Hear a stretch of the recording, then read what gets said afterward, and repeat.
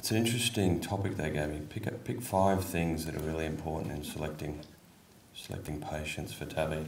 So it got me thinking. Um, transcatheter valve replacement really is now a standard of care. There's been a lot of rapid innovation over the 10 years that we've introduced it, and this is just one of the devices, one of the more popular devices. And it's really changed a lot in 10 years. We've gone from very clunky devices that are large in profile, difficult to use, less reliable results to things that are very slick now. They have a low profile, they're easily delivered, they can be recaptured if they're not in the right position. They have adaptive wraps and seals to prevent paravalvular leak. And there's wider size ranges so that we can treat a, a greater range of patients, and they're fairly simple to deliver and deploy. So it's come a long way. And there's been a strong evidence base that's built through this with multiple randomised controlled trials against a gold standard.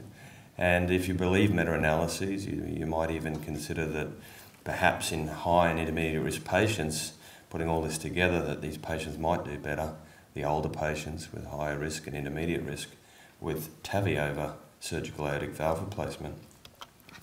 And there's really excellent local experience now. I mean, um, centres in Australia have developed from 10 years ago to be really expert at this, and um, a number of centres have led the way in new innovations in uh, future technologies. And it's really set to supplant surgery into the future as a standard of care in older patients. You can see globally there's been massive uptake of this technology 200,000 to 300,000 now implants per year off the back of that evidence. And if you look at centres such as the US and Germany to give a view into the future of where we might be going, you can see that TAVI really has taken off.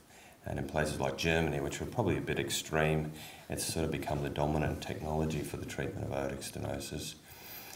For us in 2018, certainly intermediate and high risk patients, TAVI is a, is a good option and it's green lighted. There's that larger group though, below the low risk patients in whom surgery has been the the standard of care, but that's been challenged. Um, there are now studies to look at TAVI in low risk. Partner trials should start to deliver some results soon, and the studies that we do have, on randomised studies, really do suggest that you're probably going to get some good results even in low risk patient groups for TAVI compared to open surgery. Now, we've heard it's approved in Australia, that's only recent. We have operator and institutional requirements give us some indication what we expect from the hospital and the people doing it. And from November, only November last year, it's been approved in high risk patients, those who are high risk for surgical aortic valve replacement or considered inoperable. And they want the right person in the right place and the right patient. But who's the right patient? That's the question. What do our guidelines say about selecting patients? Well, our guidelines don't say much. We don't actually have any guidelines in Australia to guide us on what we should be, who we should be selecting. I think probably the best guidelines or the most transferable to us would be the Europeans, and they've got some very good guidelines recently published to give us some indication about who we should be taking to TAVI. But if you're the standard sort of person, the referrer, the maybe you're not intimately involved in understanding the nuances of these guidelines. The question is really, what do they mean? And who, who do you really select? They're fairly carefully, carefully crafted words. So, what important, what five questions should you really ask yourself if you're going to select someone for TAVI? And uh, thinking about this, these are the ones that I came up with. You can tell me if you find them useful. So, the first thing is Is this patient likely to get at least two years of reasonable quality life if their aortic stenosis is revealed, is relieved. And that's an important question. Futility, from a sort of health economics and other point of view, is patient doesn't survive to a year, but is, is really one year a great result. I think we've always thought you should be able to get several years of useful life if you treat this patient. And that's why we have multidisciplinary heart teams evaluating these patients. We have comprehensive evaluations of the patient's comorbidities that go into the discussion that is undertaken by the heart team.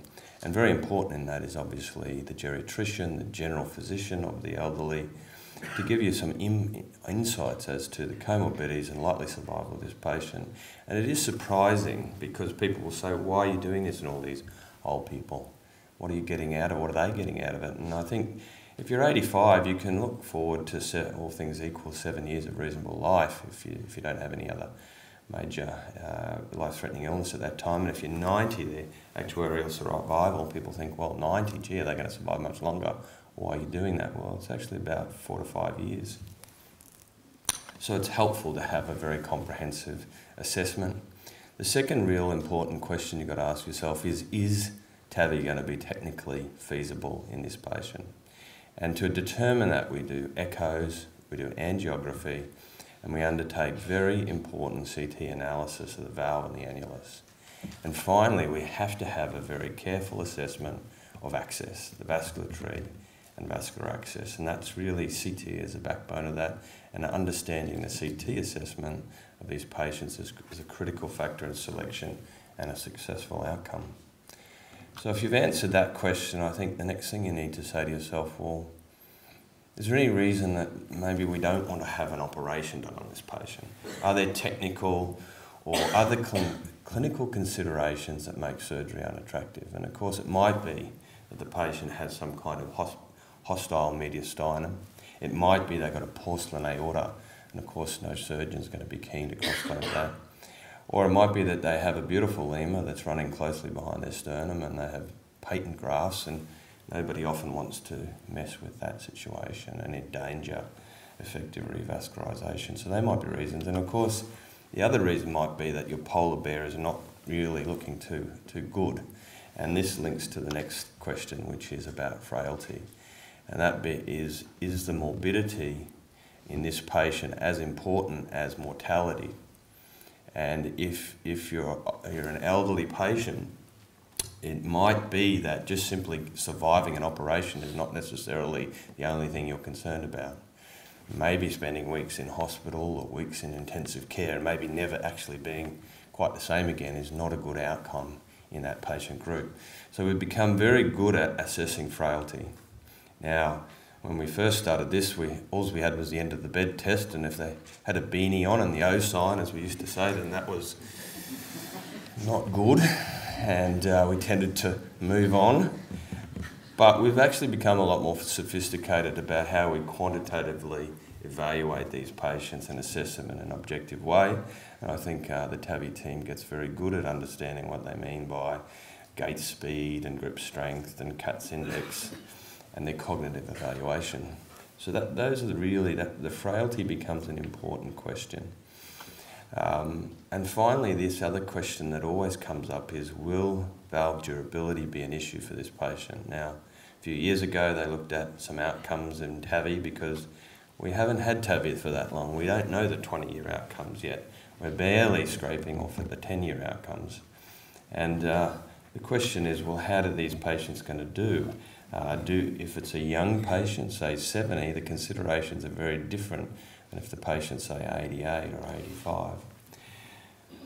I guess what's reassuring is that some of the more recent data suggests that probably the TAVI, like surgical bioprosthetic valves, does fairly similar. Uh, they probably have a fairly similar durability. And in fact, the, the TAVI valve may in fact do a bit better because the effective orifice areas are larger. But we don't know yet, and there are going to be studies that are going to give us the real answer to the durability question. But certainly from a bioprosthetic valve, 10 years, if you're getting more than that, you've done pretty well. So you need to ask that question, is durability going to be a problem in this patient? If you go back to those 2017 guidelines with all of the complex wording and screed of text, they do provide an attempt to sort of illustrate some of these points in a table, and they've broken it up differently to the way I've thought about it, but they've looked at clinical characteristics that might favour TAVI and those that might favour surgery. So very low risk, surgery still has the evidence base. If they're higher risk, it favours TAVI. If they have severe comorbidities, it favours TAVI. Uh, if the patient's older, it's, it's probably better to consider TAVI. Durability and all these other things become less of a concern. Younger patients favour surgery. If they've had previous operations, if they're frail, restricted mobility or in an uncommon situation, we worried about infection, that may all influence what you think about which therapy is best. Obviously, there are anatomical and technical aspects. If, if, if you can do it transfemorally, the results are good. Alternative access have struggled to demonstrate the same results of, as transfemoral. Uh, if there are problems that really prevent surgery, as we've discussed, like a hostile mediastinum or porcelain aorta, they've indicated that favours TAVI. Um, if there are low coronary heights, if the annulus is way out of range for a TAVI valve, if the morphology is unfavourable, if there's bicuspid valves or thrombus, then that might favour surgery. So, um, and of course, if there's another reason for the patient to have surgical um, therapy, such as other concomitant valve disease or an aneurysm or severe coronary disease that needs bypass, then that, that's obviously going to favour surgical AVR. So, to bring it back to the question, what are the five important things that you should ask yourself? I think these things probably cover most bases. Ask yourself, is the patient likely to get useful, uh, useful quality of life over the next few years if we treat them? Is TAVI technically feasible? Are there technical or clinical considerations that make surgery unattractive? And is morbidity going to be important in that patient group? Are they frail? Because uh, a less invasive uh, therapy is going to be preferred. And then is valve durability an issue? 60 year old, 65 year old male is going to be an issue. 85 year old uh, patient, maybe less so. So we'll, uh, and that's our first patient that we selected nearly 10 years ago, and uh, he survived for six years post implant. So it can be a very good therapy uh, for a patient cohort. Thank you.